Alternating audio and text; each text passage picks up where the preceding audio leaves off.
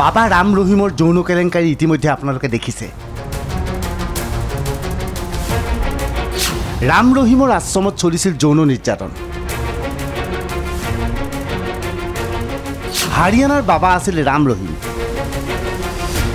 ৰাম ৰহিম এতিয়া জেল হাজতত এইবাৰ হাৰিয়ানাত নহয় অসমৰ আশ্ৰমত যৌন নিৰ্যাতন। এইখন হ'ল চিলাপথাৰৰ শ্ৰী শ্ৰী সেৱা আশ্ৰম। এই সেৱা আশ্ৰমৰ এইজন হৈছে সঞ্চালক মাধৱ চন্দ্ৰ গোস্বামী। এই গোস্বামীৰ বিৰুদ্ধে যৌন নিৰ্যাতনৰ অভিযোগ আনিছে আশ্ৰমৰ এগৰাকী কিশোৰীয়ে। তিনিমাহ ধৰি চলি আছিল যৌন নিৰ্যাতন। প্ৰতিবাদ কৰিলেই হত্যাৰ ভাবুকি দিছিল সঞ্চালকে। অৱশেষত আশ্ৰমৰ পৰা পলাই আহে কিশোৰীগৰাকীয়ে। আশ্ৰয় লৈ গাঁওবাসীৰ ওচৰত। ফাদিল কৰে সমগ্ৰ তথ্য। হয় সঁচা। মানৱ গোস্বামী তেওঁ মোৰ লগত ৰেপ কৰিছে তাৰপৰা আৰু তেওঁ মিছেছে কি কয় ককাইকে মোক ৰেপ কৰিছে। তিনি মাহৰ পৰা মই তাতে আছোঁ তাই তেতিয়াৰ পৰা মোক চলাই আছে তেনেকৈ। আৰু কি কয় মই মানা কৰিলে সিহঁতে মোক মাৰ মাৰিম বুলি কয় মাৰি পেলাম বুলি কয় তেওঁ মাধৱ গোস্বামীয়ে মোক তেনেকৈ কয় মাৰি পেলাম বুলি কয় তেওঁ। এই মহিলাগৰাকীলৈ মন কৰক। এওঁৰ বাসভৱনত পলাই আহি আশ্ৰয় লৈছিল কিশোৰীগৰাকী। কি পৰিস্থিতিত কেনেকৈ কিশোৰীগৰাকীয়ে পলায়ন কৰিছিল তাৰ ব্যাখ্যা আগবঢ়ালে মহিলাগৰাকীয়ে। তাৰপৰা গুচি আহিলে তাই পলাই। ৰাতি এটা বজাত সোমাইছেহি আমাৰ ঘৰত দেই।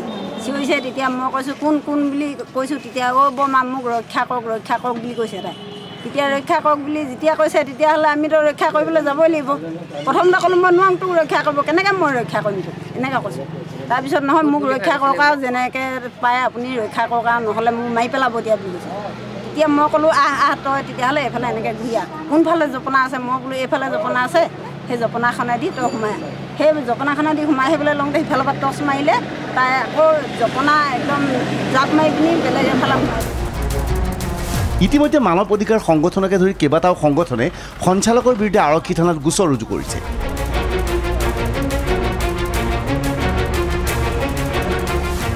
এয়া আশ্ৰমৰ বিৰুদ্ধে ষড়যন্ত্ৰ। আশ্ৰমত এনে কোনো ঘটনা সংঘটিত হোৱা নাই।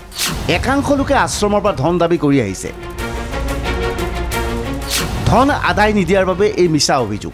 এইটো সম্পূৰ্ণ পৰিকল্পিত। আজি প্ৰায় দুবছৰৰ পৰা আমাৰ আশ্ৰমখন বিনষ্ট কৰিবৰ বাবে বিনষ্ট কৰাৰ এটাই কাৰণ হ'ল মোক ধন দাবী কৰিছিলে পূৰ্বতে।